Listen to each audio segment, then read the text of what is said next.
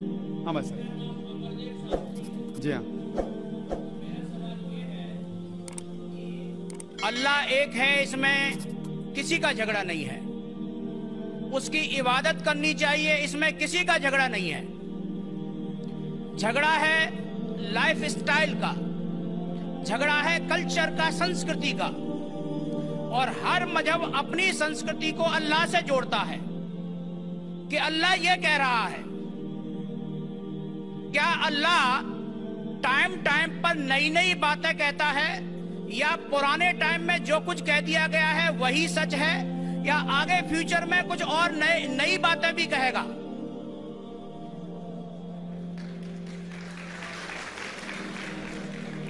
भाई साहब, का अच्छा सवाल था कि किसी को दो राय नहीं कि अल्लाह एक है, भगवान एक है। सब मानते कैसे उसी की इबादत करना चाहिए। लेकिन हर मज़हब अपनी कल्चर अपनी संस्कृति को देख के स्टाइल बदलता है। तो अल्लाह ताला जो पहले कह चुका वो अभी भी सेम है कि टाइम टाइम पे बदलता है। भाई साहब का सवाल अच्छा है। लेकिन ये कहना चाहता हूँ जवाब देने के पहले, उन भाई साहब ने कहा कि सब मानते हैं कि अल्लाह एक है। ये मैं नहीं मानता हूँ कि सब मानते मैं नहीं मानता हूँ कि सब मानते ये ये मेरा मेरा फ़ील्ड है। ये मेरा फन है। गैर मुस्लिम से बात करना। मैं ये नहीं मानता हूँ कि हर गैर मुस्लिम मानते अल्लाह एक है, कि भगवान एक है। कई लोग भगवान में मानते ही नहीं, नास्तिक कहते। और जो लोग कहते हैं भगवान में मानते हैं, हर कोई एक में नहीं मानता।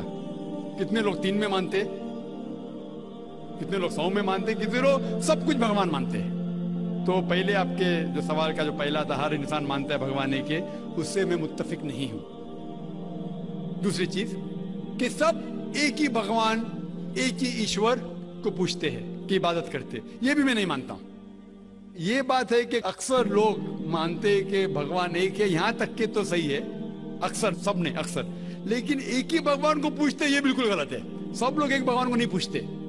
मिसाल के तौर पे अक्सर कुरान क्या कहते कुरान क्या है कि जो लोग कहते हैं कि एक भगवान को मानते हैं, लेकिन और को भी पूछते हैं, उसे कहते हैं शिरक। आप पूछेंगे आम इंसान भगवान एक भगवान है, मालिक है? बोलेंगे। लेकिन जा रहे पूज रहे, बुद्ध को पूछ रहे, कभी इसको पूछते, कभी उसको पूछते। तो ये आप अगर धर्म की किताब पढ़ेंगे, बाइबल पढ़ो, वेद पढ़ो, ये सब इसकी मुमानियत है। ये हराम है कि किसी और को पूछना इसके बावजूद धर्म के मानने वाले अक्सर दूसरी चीज़ को पूछते हैं जो बिल्कुल गलत है। तो ये कहना कि इंसान एक ही भगवान में मानता है और उसी को पूछता है, बिल्कुल गलत है। आप देखेंगे आमतौर पर जो फ़र्क है कि जो कुरान कहते ताला कल में सवा आपस में उस चीज़ पे आओ जो हम और आप में यकसा है। सबसे पहली बात है, अल्लाह नाबुदा कि हम एक ही ईश्वर, एक ही भगवान की इबादत करें। एक ही भगवान में मानना काफ़ी नहीं, मानने के अलावा उसी की इबादत करना और किसी की नहीं। आपका अहम सवाल कि हर मज़हब एक ही भगवान कहता है, ये बिल्कुल सही है। एक ही भगवान की इबादत कहना कि बिल्कुल सही है, लेकिन अपने तहजीब के हिसाब से बदलते रहता है। ये कहना गलत है। और अल्लाह ताला कितने बार बदलता है? ये कह सकते हैं कि टाइम जाने के वजह से किताबें बदलती गई। अल्लाह का जो पैगाम है, बेसिक पैगाम, वो सेम है। वो बदलता नहीं। कि अल्लाह एक है? एक ईश्वर की इबादत करो, वो बदलता नहीं। उसके कुछ चीज़ें ऊपरी चीज़ें शायद बदले।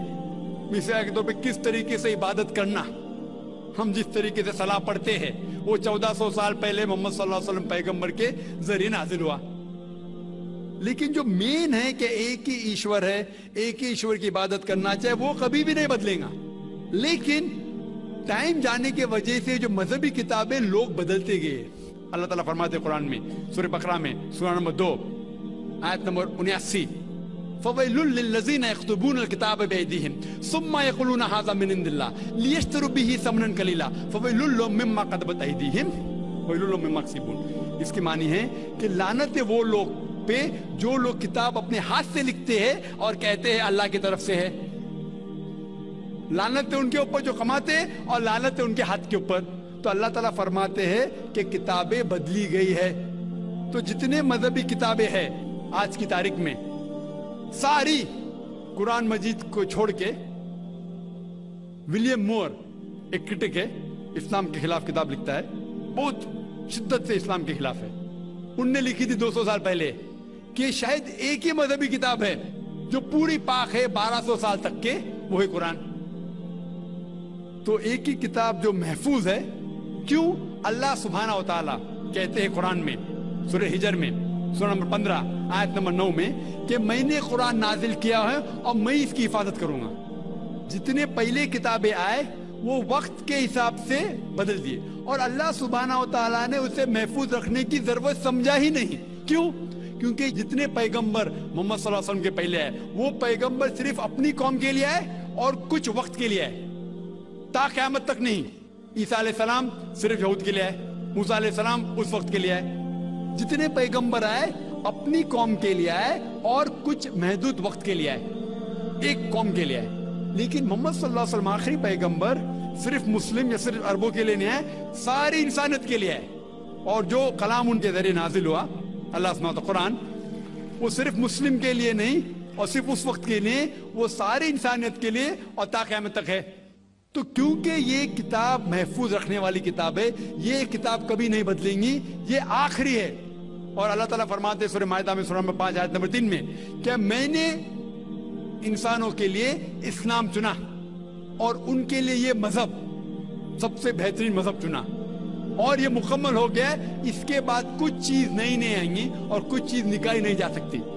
तो पहले जितने किताबें आए, जितने नाजिल हुए, अल्लाह ताला के, वो बदलते गए, क्योंकि उसे महफूज रखने की ज़रूरत थी नहीं, क्योंकि वो पैगाम, पूरा मुकम्मल पैगाम ता क्यामत तक था ही नहीं।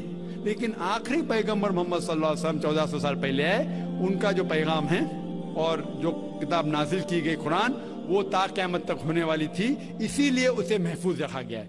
तो अल्लाह सुबहाना ताला ने 1400 साल पहले समझे कि ये वक्त ही सही है कि इंसानियत उस दर्जे पे पहुँच गई कि वो कुरान को समझ सके।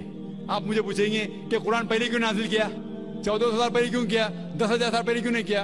तो मैं कहूँगा कि अल्लाह ताला हमारा खालिक है, वो जानता है कि इंसान कब किस चीज़ समझ सके।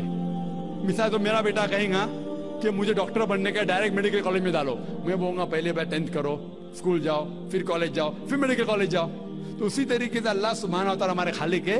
वो जानते थे कि ये चौदह सौ साल पहले इंसान इस दर्जे पे पहुँचे कि वो कुरान को समझ सके और उनने नाजिल किया। और अभी ये आखिरी किताब है, इसके बाद कोई भी नया पैगंबर नहीं आएगा। इसके बाद कोई कहता है कि मुझे अल्लाह ताला से वही आती है, उसको साइकेट्रिस्ट की ज़रूरत है। साइकेट्रिस्ट दिमाग की बीमारी है।